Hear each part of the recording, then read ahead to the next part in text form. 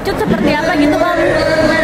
itu karena Cut teman kita ya teman kita gitu Cut, eh, kita teman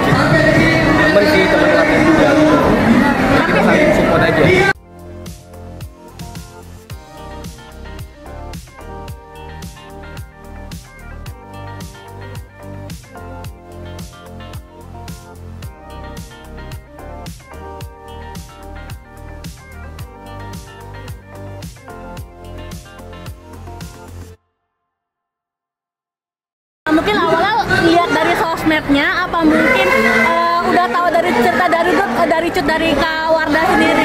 iya dari sosmed sih saya awalnya Kalau sekarang sendiri kondisinya Kak Cut seperti apa?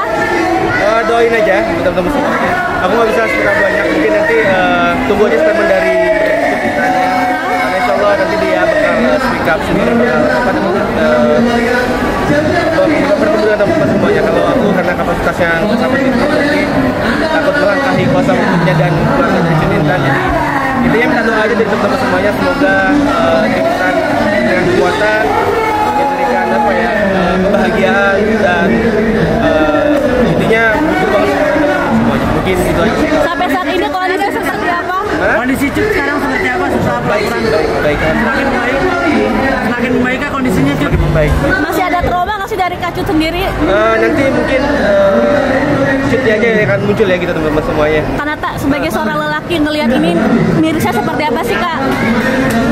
Mungkin ada pesan khusus nggak sih untuk bapak-bapak yang Pokoknya eh, semoga kita selalu dalam kebaikan, dalam lindungan Allah. Pokoknya berbuat baik terus, jaga selalu keluarganya dan selamat Hari Merdeka.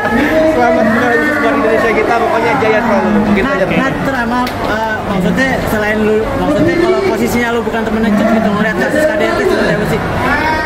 Ya kita ya miris ya dengan keadaan ini. Tentunya eh, hal ini kan menggugah semua lapisan masyarakat ya. Dan tentunya kita sedih dan miris ya. Mungkin itu aja sih kalau dari aku ya, teman-teman semuanya.